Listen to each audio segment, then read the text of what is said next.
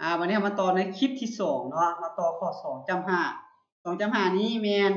อ่าลำไส้แก่เนาะลำไส้แก่ของคนเฮามีความยาวประมาณ150ซัมติเนาะแบ่งออกเป็นอยู่3ส่วน คือส่วนลำไส้แก่ตอนต้นลำไส้แก่ตอนกลาง และลำไส้แก่ตอนปลายในลำไส้แก่ตอนต้นเนาะจะมีอยู่ลำไส้ที่ลำไส้ติ่งซึ่งอยู่ทอปลายติกจะอ่า จะมีไส้เนาะและยิงตามในนี้เนาะยิงตามที่อ่าลำไส้ติดกับลำไส้อ่อนจะมีส่วนปลายเนาะส่วนลำไส้เกตอนกลาง และลำไส้เกส่วนปลายนี้เป็นส่วนสุดท้ายของลำไส้มีลักษณะเป็นทอซื่อเนาะคือดังรูปนี้เนาะอันนี้เป็นรูปภาพที่ลำไส้เกเนาะอันนี้เป็นอ่าไส้ติ่งเนาะอันนี้เป็นอ่า ไส้สุดหรือว่าทวารนักเนาะอันนี้เมียนมีขนาดหรือส่วนที่ของหัวทวารแล้วก็ไส้ติ่งเด้อรูปภาพตัวนี้เนาะจะเป็นอ่าทวารนัก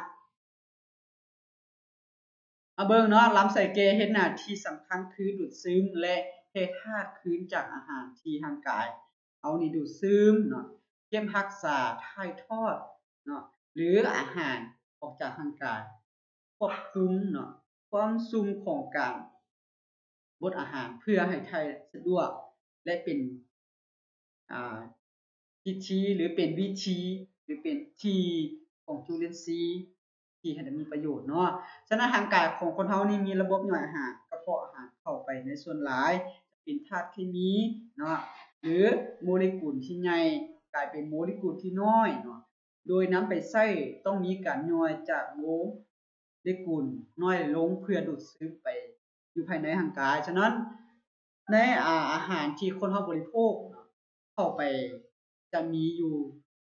การย่อย2วิธี คือการย่อยทั้งกลศาสตร์และเคมีเนาะฉะนั้นการย่อยทั้งกลศาสตร์นี้เนาะเป็นการย่อยที่เกิดจากการเคลื่อนไหว ในอวัยวะ ในระบบการเดินอาหารเฮานี่แบ่งออกเป็นอยู่5ระยะคือเนาะ การย่ำการกลืนเนการบีบพัดอาหารให้ลงไปในหลอดอาหาร การเคลื่อนไหวของกระเพาะและลำและการเคลื่อนไหวของลำไส้เนาะอันนี้แม่นการย่อยทางกลศาสตร์เด้อวันนี้การย่อยอาหารทางเคมีเนาะการย่อยอาหารทางเคมีนี้แม่นเป็นการย่อยที่อาศัยน้ำย่อยจากอวัยวะต่างๆของระบบ ย่อยอาหารให้เป็นโมเลกุลน้อย เพื่อจะดูดซึมเข้าไปในเลือดและเฮ็ดให้เพจุลังในร่างกายใช้ประโยชน์ได้เนาะอันนี้แม่นการย่อย อาหารอยู่ทางเคมีเนาะจะนำมาต่อข้อที่3บทบาทของอาหารแน่นอนว่าอาหารนี้เนาะเป็นวัตถุดิบต้นตอเนาะเพื่อทดแทนให้แก่ภาคส่วนของร่างกายที่ถูกสูญเสีย ไปในแต่ละมื้อเนาะ นองธาตุต่างๆเนาะของร่างกาย และเป็นแหล่งพลังงานที่แร่ไว้นั้นสำหรับใช้ในการเคลื่อนไหวต่างๆของร่างกายเนาะอันนี้แม่นบทบาทของอาหารเนาะเฮามาเบิ่ง3จ1เนาะก็คือการละลายและการดูดซึมแน่นอนเนาะข้อกอการละลายเนาะการละลายอาหารในปากเนาะซึ่งมีตอน้ำลายที่ผลิตตอน้ำลายและปล่อยนำเข้าสู่ไปนำท่อละลาย แล้ว หลั่งออกประมาณแม่น1,200 หา 1,500มิลลิลิตรต่อมือหนึ่งน้ำลายหรือน้ำผลิตมีอยู่2ชนิดคือน้ำละลายชนิดใสและน้ำลายชนิดเหนียวมีอยู่2ชนิดเด้อฉะนั้นน้ำลายเฮาเนาะน้ำลายนี่จะมีน้ำย่อยที่มีอ่ารัสบรรจุอยู่เพื่อย่อยแป้งเนาะแล้วก็การ น้ำย่อยชนิดเหนียวเนาะสร้างเมื่อเฮ็ดให้อาหารได้สะดวกเนาะฉะนั้นการละลายอาหารในกระเพาะเนาะเป็นการย่อยอาหารที่มีส่วนประกอบที่สำคัญคือมีมิวซินเฮ็ดหน้าที่เคลือบกระเพาะให้ความเป็นกรดลดลงเนาะ